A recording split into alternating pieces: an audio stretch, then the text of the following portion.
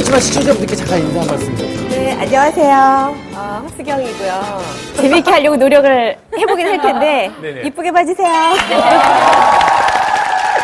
허수경 선배님께서는 정말 뭐 최고의 입담을 자랑하신 여성 MC분 중에 한 분이시잖아요. 그렇죠. 프로필을 좀 찾아봤더니 피켓 걸로 데뷔하셨다는 얘기가 있는데 이게 어떤 얘기인가요? 86년도에 아시안 게임이 열렸잖아요, 우리나라에서. 86 아시안 게임. 대학교 1학년이었는데, 나이가 다 나왔네요.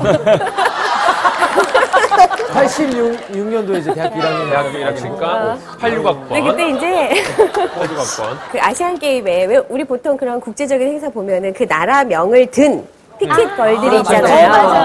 그러니까 86 아시안 게임에 그런 피켓 걸이 필요한데 그래서 각 대학의 뭐 무용과 체육학과 이런 그 교수님들이 몇 명씩을 선발해서 네. 그 피켓 걸을 이제 하게 된 거예요. 어느 나라, 어느 나라 피켓 드신 거예요? 저는 필리핀이었어요. 필리핀. 근데 필리핀 다음이 홍콩이었어요. 그 홍콩을 든 언니가 도지원 씨. 네.